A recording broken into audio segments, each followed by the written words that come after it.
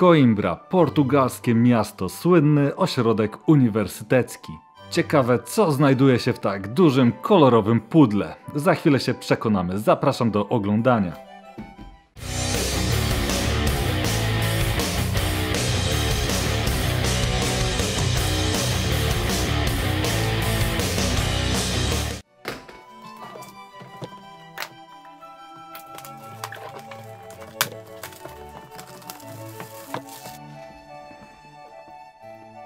Tak wygląda wieko pudła.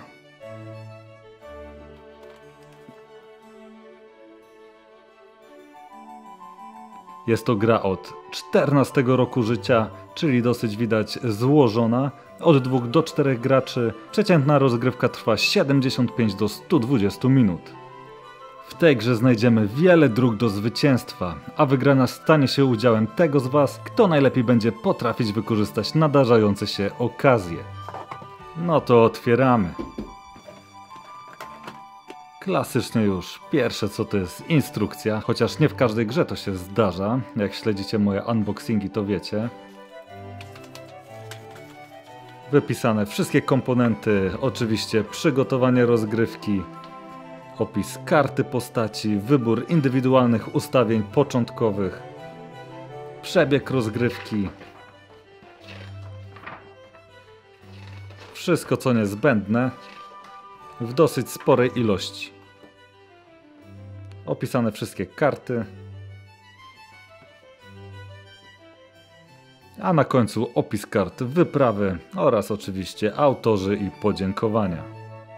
A to wszystko mieści się na 16 stronach. Zaczynamy z żetonami. Mamy tutaj żetony klasztorów, żetony kości, żetony przysług, żetony punktowania wpływów, żetony koron oraz żeton trzech oczek.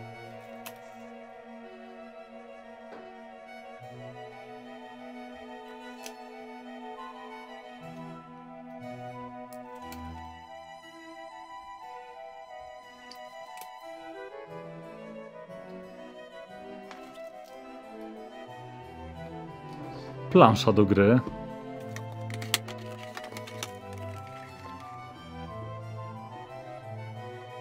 Bardzo kolorowa, zobaczycie ją na przebitkach w całości.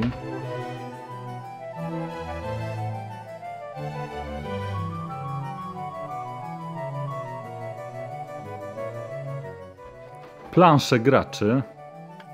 Po jednej oczywiście na każdego gracza.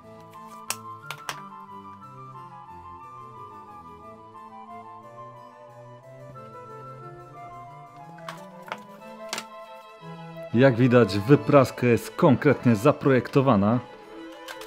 Plastikowa. Dobra, zaczniemy od znaczników.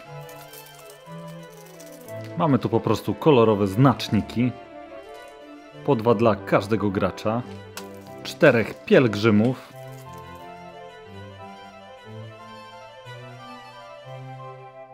Taki ładny, grzeczny ludzik.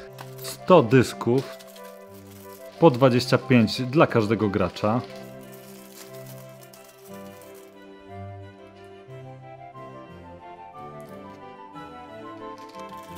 Cztery lwy.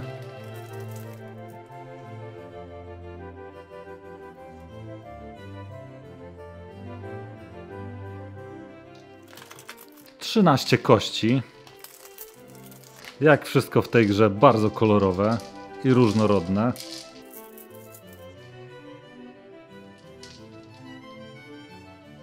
Zwykłe kaszustki. To co tutaj mamy są to podstawki pod kości.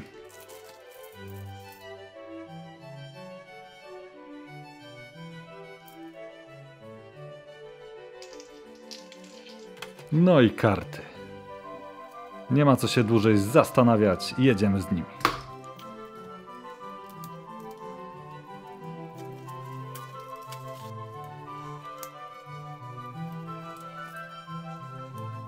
Mamy tutaj 56 kart postaci. Pomarańczowe karty to kupcy. Fioletowe duchowni. szare urzędnicy, a zielone uczeni.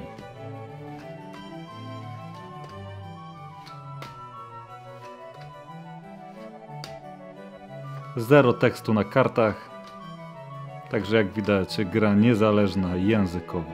O, chociaż coś się pojawiło.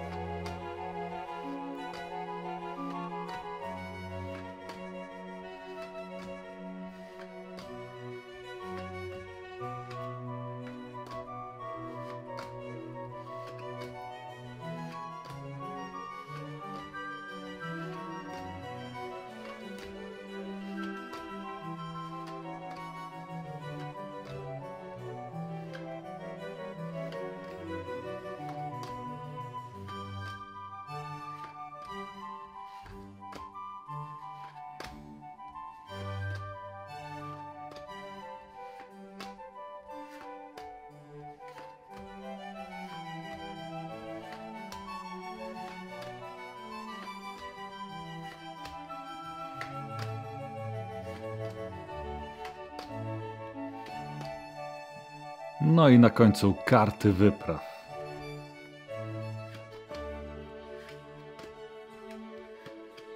Barbados, Madera,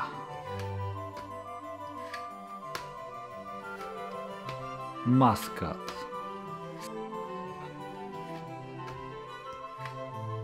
Malaka i Makao. Na koniec jeszcze raz spójrzmy na ten insert.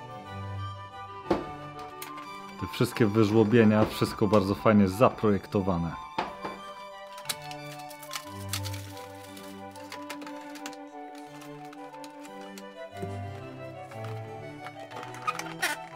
A wy graliście w Coimbra? Dajcie znać w komentarzach, jak podobała się rozgrywka.